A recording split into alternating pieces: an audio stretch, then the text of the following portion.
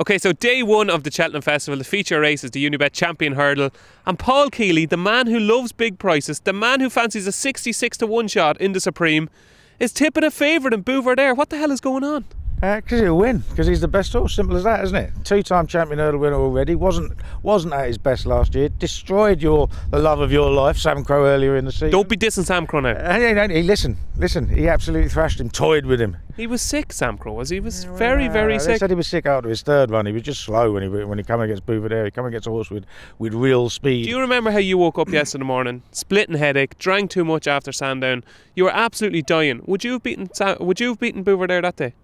I wouldn't beat anybody any day, irrespective of how my head's feeling. Let's be honest about that, but that doesn't matter.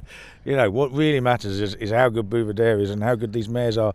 And Apple's Jade for me doesn't like Cheltenham. Laurina's one of the silliest prizes of the week based on form against mares who would have no chance of of, uh, of being in the first 10 and a 12 runner champion hurdle. So, you know, why why won't Buveur D'Air won't win? You tell me. Well, I'll tell you because if you take last year's champion hurdle, I know you say he was sick, but just using last year's champion hurdle, Mick Jazz. Mick Jazz, do you remember Mick Jazz?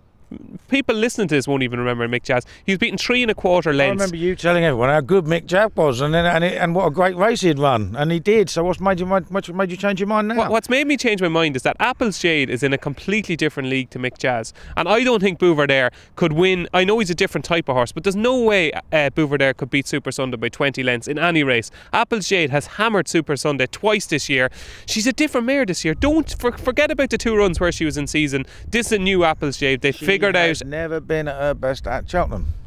But she still almost won a Triumph Hurdle and she's won a Mare's Hurdle. Yeah, she won, you know. It was a good Triumph Hurdle apart from the winner, though, didn't it? You had to make excuses for how Ivanovich Gorbatov won, won that one.